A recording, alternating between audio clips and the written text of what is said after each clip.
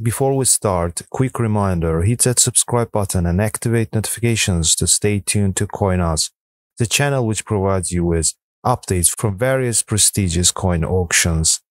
So 1966 Lincoln Cent is a common coin, but within its minting lies a hidden gem, the double die reverse FS801 variety.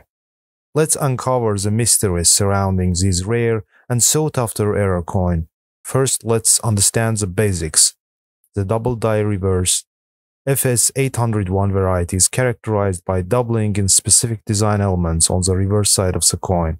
All the reverse letterings and portions of the memorial building are doubled. Doubling is most prominent on lettering United States of America and 1 cent.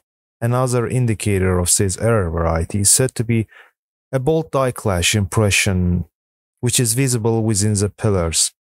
Identifying the FS801 variety requires a keen eye or magnifying glass. Look for distinct doubling, which often appears as a shadow or a secondary outline around the letters and other features. Despite its humble origins, the FS801 variety is anything but common. It's rare to contribute to its allure among collectors, and its value can far surpass that of regular 1966 Lincoln cents. Jeff Young, reported the first 1983 D Lincoln cent struck on a solid 95% copper planchet, two weeks later reported finding a 1966 double die reverse cent. It represents only a third example found since it was first reported upon CONECA Errorscope in 1999 and again in numismatic news when the second specimen was discovered in 2011. The value of double die reverse FS801 varies based on factors such as condition and collector's demand. Authenticating the coin through reputable servers is crucial to ensure its legitimacy and assess its true value. Error coins like FS801 have dedicated market with enthusiasts eager to add the unique pieces to their collections. Auctions, coin shows, and online marketplaces are popular avenues for buying and selling.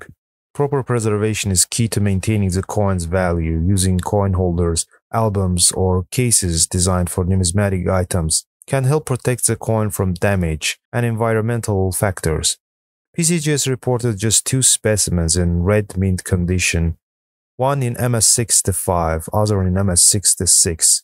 Coin grading service has a population of three brown specimens in Mint State 62 with non-finer and guiding price of $3,500. One of the most valuable examples in brown condition was showcased at Great Collections auction. This MS62 cent was sold for $3,300 with buyer's fee on April 30, 2017.